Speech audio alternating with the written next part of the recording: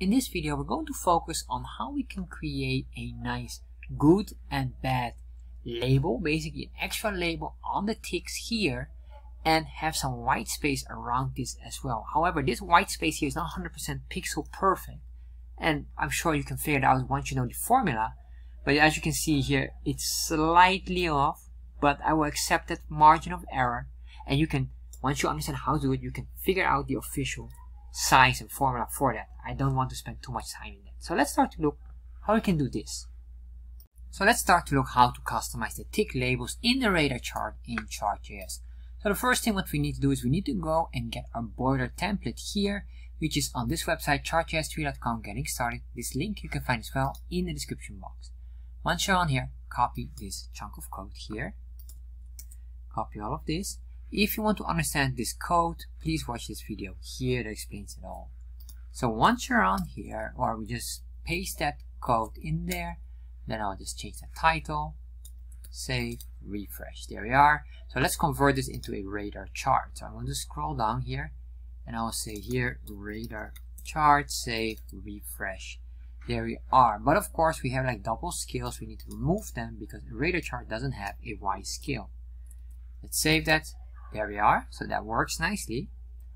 And now what I want to do is I want to start to uh, break this down because based on the question it was from 0 all the way to 5 so I need to change first the numbers with a maximum number of 5 so say 5 5 and here is 0 0 and I guess we can just remove all of these for now. If I save that refresh or, or maybe we need something else. Here's a 1 2 and 3 there we are.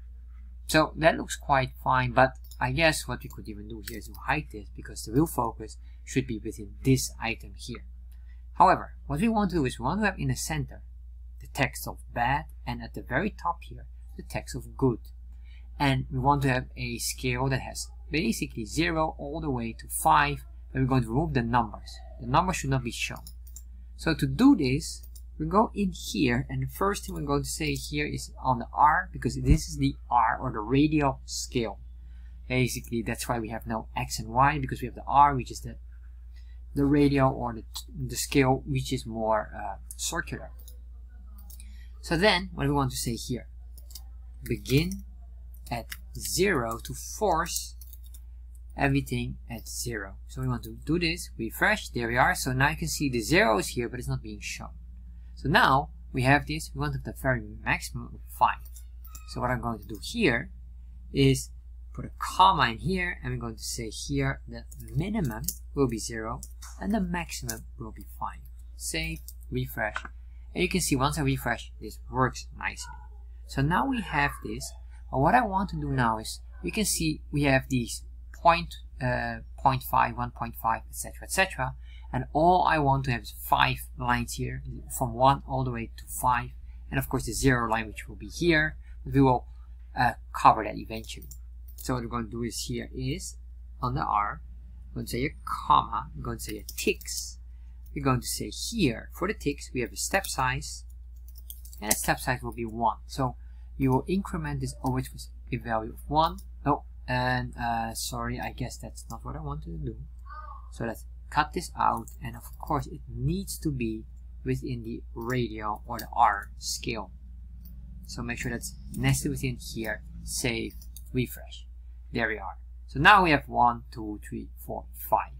So what I want to do here is Eventually here this 0 here we have to put in bad and I want to convert this one, the 5 into a good and everything else I want to hide. So what we're going to do now is to hide those items. To do that what I'm going to do here is uh, again here between and probably even within the ticks here because this is a part of the ticks we're going to say here a callback and this callback functionality allows us to do something with the ticks we're going to say value we need a tick argument and we can get here the values as in plural. This is a callback functionality, so we can use here the function arrow expression. And then what we want to do here is first of all do a console log and save value, show, refresh. So uh, when we do console log, you can see here we get these numbers here, 0 to 5, which is correct because these numbers are the uh, the tick numbers which we put in here. So I could do even here 10 and you will see that this will change as well from 0 to 10. You might say why are we not seeing it? Because of the callback we are hiding certain items or there's no return at this moment. But if I do it like this, it should show. But of course here, let's put this all back. This callback here allows us to return something, but right now we don't return anything. All we say show us in the console log. So if I do here return and I say value, you will see it will work again nicely. There we are. However, I want to make sure that only the 5 is shown. So what I'm going to do here is we create a very simple if statement. We say if the value equals strict uh, 5, in that case, what I want to do here is to return uh, return here good as the value. If I save this and remove the others, alright, so you can see here if this uh, doesn't work, or at least doesn't work completely. Now let's see here why do it like this probably, and then I probably have to check for the others as well. Alright, so what I want to do is else return nothing at all. There we are. So now we have this here, and we eventually want to have one for the bad. That should be zero, but but of course here it doesn't show, and that's a tricky one. It should show, or there's probably ways to do it. So far I have not figured out. But if you look very carefully here, you see these transparent items here. This item is here because of our ticks, and every tick gets what we call a uh, what we call a backdrop, which is basically a transparency layer behind the text to make it readable, which is a very clever design. But now this backdrop is blocking or basically interfering with our design. So what we'll have to do now is to remove the backdrop these. So how do we do this? So what we're going to do here, we can do again in the R scale, and then what I want to do here um, uh, let's see. Oh I guess sorry that we should be still in the ticks. It's still a tick related item. So I'm going to put in a comma here. And then we're going to say here show label backdrop. And the backdrop here we're going to make a callback functionality out of it we say here context and again a function arrow expression so once we have this what I want to do here by default if I say return uh, true, you will see here that's basically how it looks like. If I do false, you will see that it will work, or at least it is now, um, it removes it all. However, here, this might be an interference of the text here, because the text here, and this is, or this item has no backdrop. So what I want to do is I want to put a backdrop on this item as well. So what I'm going to do is very simply, just we can basically copy all of this, and we're going to say here, if we have a backdrop, in that case, true, this one true, and else false. Save, refresh. Oh, the value is not item, of course. Uh, what we need to do here is, because I'm copy pasting it, I need to do a console log to show you what is in our context. And then what I have to do here for now is hide these. Save, refresh. So when I do this, you can see here we get the item, you see the index number, but we get the tick, and the tick will also have a value. And remember, the value 0 and the value 5 were the ones that we want to target. So we can say from tick to value. So in here, from contact context, tick to value, if I save this, we will see here now, we get the loop of the value from 1 till 5. So what I'm going to do is just copy this, put it in there, there and save. Refresh. Now all right interesting. It is this is true and else it's false uh, let's see why is it just not responding here so I have to double check on this or maybe we can just hide this one here the backdrop there we are that's it so we just have to remove a else for the false return false there's no need for it only true if the case is true, else don't show at all. Simply enough. So now we have this done. Basically, we covered now two parts. What we have to do still see the text in the center plus hiding this. And this hiding here of the inner grid lines is the most tricky one where I don't have a proper solution. I have a solution that is near pixel perfect, but it's not pixel perfect. So what we're going to do here is, let's start to work on uh, hiding the text here, or sorry, hiding the grid lines inside here. To do this, what I need to do here is we're going into the angle lines.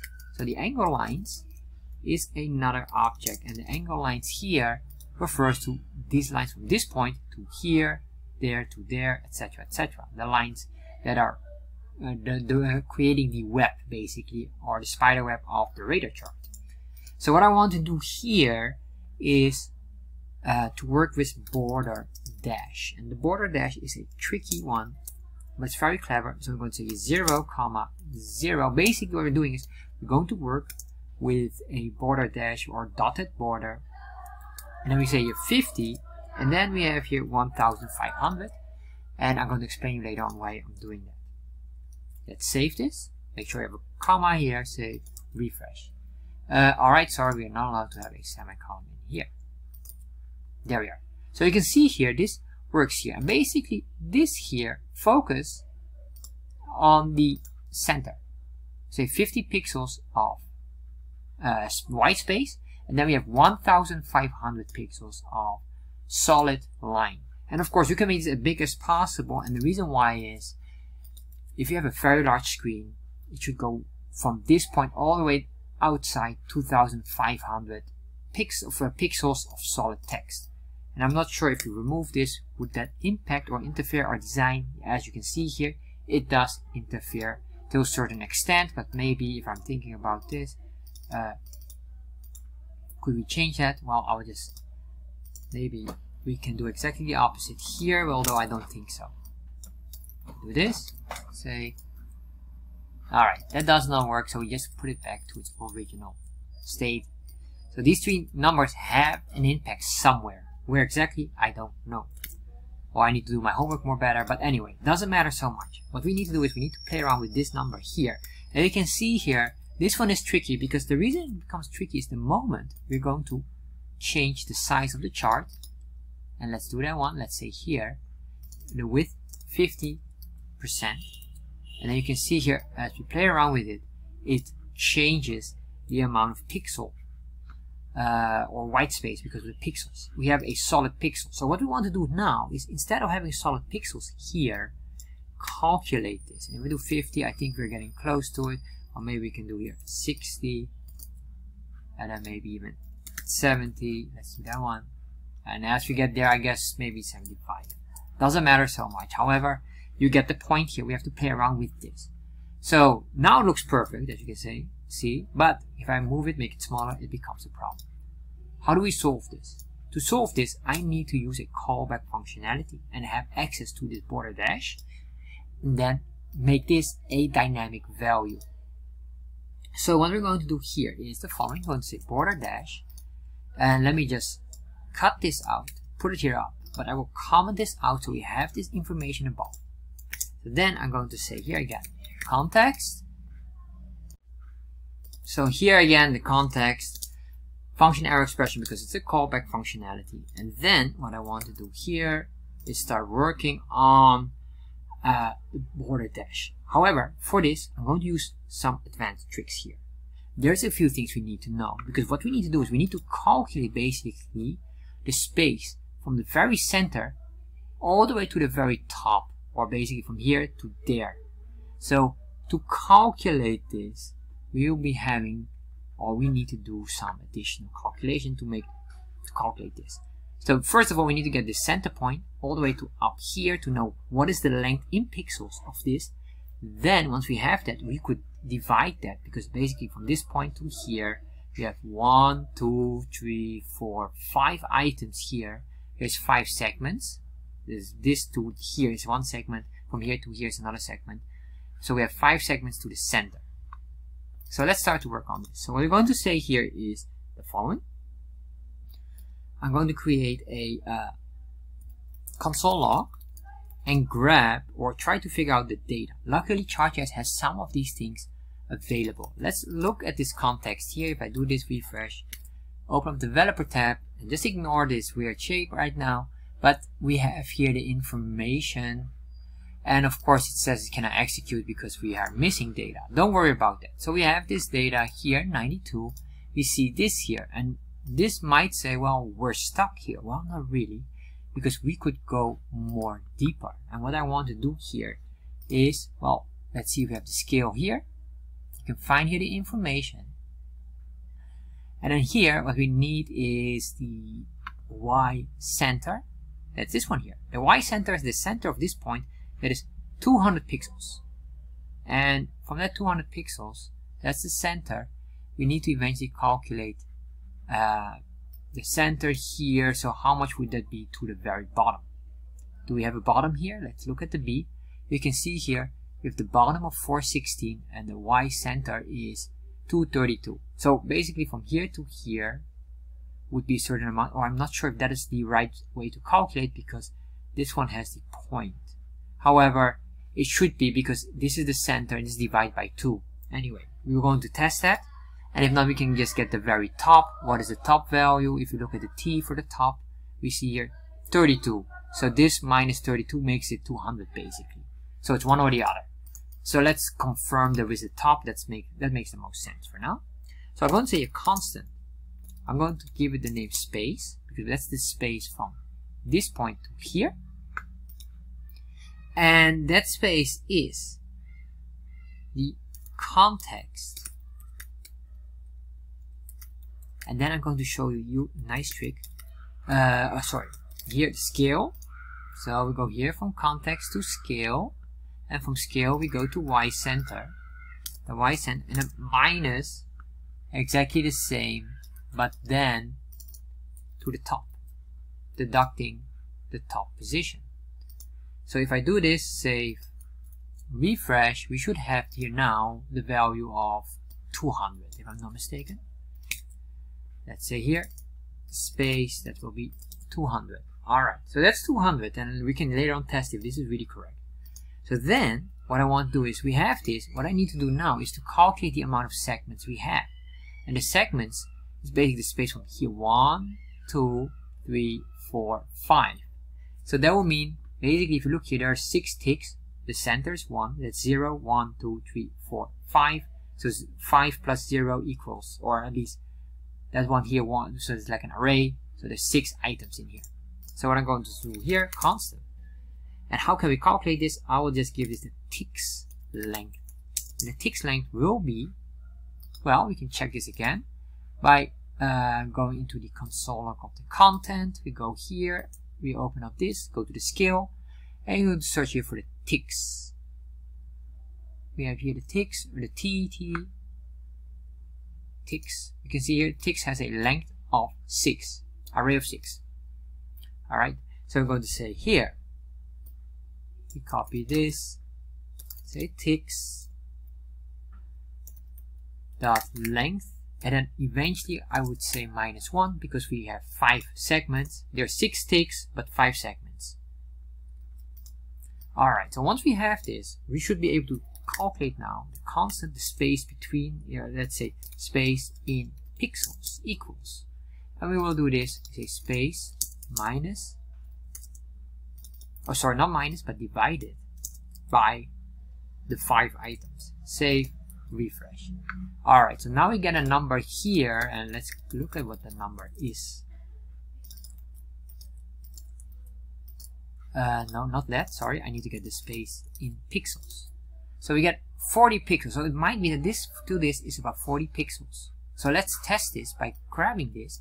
Now what we're going to do is we say return this entire array, put that in there. Although, uh, oh yeah, that could be as well because we're going to put this dynamic value in here save and I see 75 but it's not 75 because that's on full screen so now we have this and you can see here we're slightly off alright so this is the most tricky one and probably probably we need to recalculate it a little bit but as you can see here if we do this we can even test if we do ticks.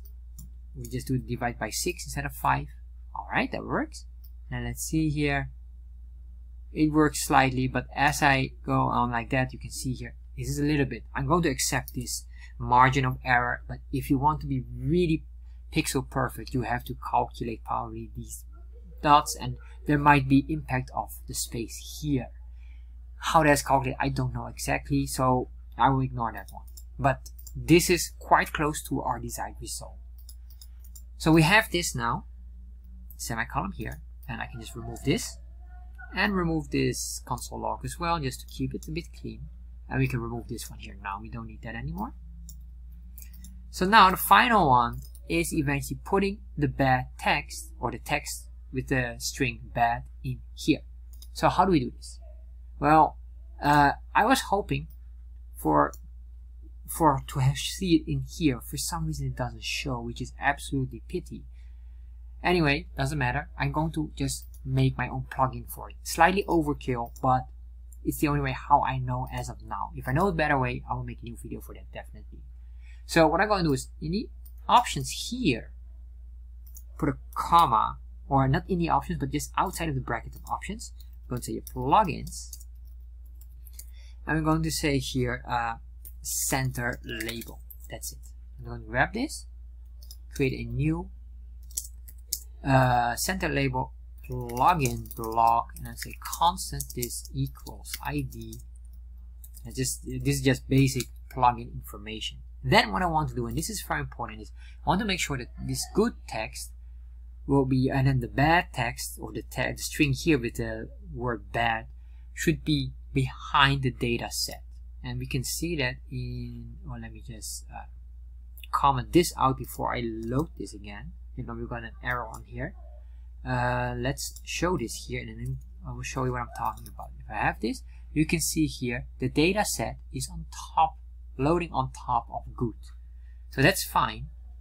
And that's what we want as well with the bed. The bed should be behind this this radar area uh, segment, basically. So to do that, I'm going here back, uh, activate this again, put that in here, and then we're going to say here, before data sets draw that's basically the timing I want to draw it I'm going to say chart args, and plugin options. This here. Then when we have this what I want to do is I want to do an object destructuring and if you're wondering what is an object destructuring object destructuring uh, I have a video about that. Understanding object destructuring Chart JS which you can find as well in the description box because that's what I'm doing right now here which is very, very important to understand. So what I want to do here is, well, basically we will need the CTX and I will need the scales and more specifically the R or the radial scale. So let's put it there with some space between there. That looks a bit nice. So now I'm going to draw. So I'm going to ctx.save to save all items above. And then we say ctx dot. Well, we want to do a few things. I want the text with the right font size. And let me just hide this say refresh. Well, of course this doesn't, this is not allowed. Um, alright, what happened here? Sorry, that is not what I wanted to do. Well, let's do this. Undo this one here, or leave comment here. I need to comment out this one. Refresh, so we have our radar chart working again. But then what I want to do, I want to be in the center here, but it must be with the same font color and the same font size and the same font family. So let's do that right now. So we're going to say here ctx dot font equal, and we could make this bold if we want by saying bold, but that's not the case here. By default, it's always 12 pixels. Then we're going to say here sans serif. And once we did that, what I want to do is as the font color. So it's a ctx dot fill style and the fill style is the font color, which is the default is RGBA 102, comma 102, comma 102, comma 1. That's the nice gray color. Once we have this, I want to say a CTX uh, fill text to draw the text, and the text will have eventually three values that we need to put in. First one it will be the text itself, which is for us bad. Then we have the X position and the Y position, which is basically the coordinates.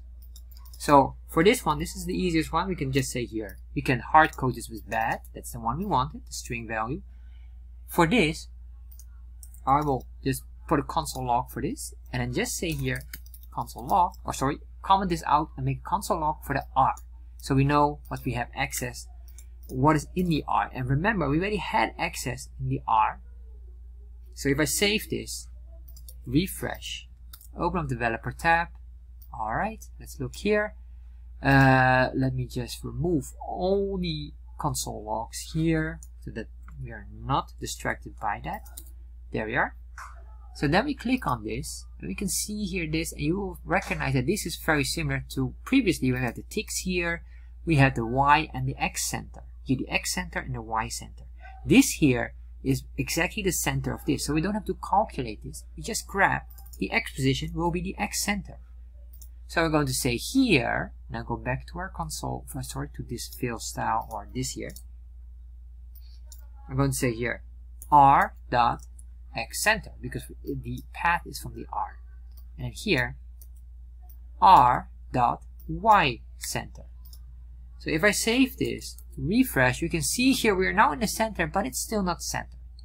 So let's do the final item. Because this here is just a text alignment of left, we're going to move that to text align center. To do that one here, ctx.text align equals center, save that, refresh, refresh this one. Alright. What we could do as well is if sometimes it might not be fully uh, centered um, on vertical level you could say ctx dot text baseline and then we put this in the middle. But by default it's already set on the middle but anyway. Just to be sure then you have this completely in the center and that's basically it here. This here all we need to do here basically if we want to fine tune and be pixel perfect play around with the formula here. Probably we have these borders here and I think it's not being calculated as a part of it. Maybe a plus 5 or 6 pixels. If I do this plus 6 here, uh, we get, I guess, something. Let's see if that is true. But then you can see here, then it doesn't work anymore like that. Anyway, that is something that's basically the real challenge. Last one, but we, we made it as close as possible. So if you enjoyed this video and maybe you want to have something else, for example, clickable labels on the radar chart, if you want to learn how to do that, I have a special video about that on how to make scales, how to make the scales clickable in the radar chart in Chart.js, which is also quite nice to do. Gives another dimension of usability and user experience on Chart.js.